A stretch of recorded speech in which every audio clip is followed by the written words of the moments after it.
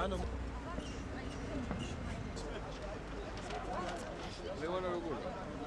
დღევანდელი აქცია არის დაკავშირებული საქართველოს პრემიერ-მინისტრის ფინანსურ სქემასთან დაკავშირებით, მისი ნათესავების სხვადასხვა ასე ვთქვათ, ფინანსურ საქმიანობაში ჩართულობასთან დაკავშირებით, ხედავთ რომ დიდი კორუფციული ქსელი იქნება, მე შემდეგ ამბობენ რომ ეს მათი ნათესავები არ არის და უბრალოდ დამთხოვა არის, მაშინ მე მეც ვეთქვი ღარიბაშვილს რომ ეს დამნიშნოს ერთ ადგილას უბრალოდ პიროვნება შენგელია. ირაკლი ღარიბაშვილი ნიშნავს თანამდებობებზე პირადი ინტერესებით, ნიშნავს nepotizmis ნიშნით, ანუ ეს იმას ნიშნავს, რომ ნიშნავს საკმაოდ მაღალ თანამდებობებზე თავის ათესავებს ახლო გარემოცვას.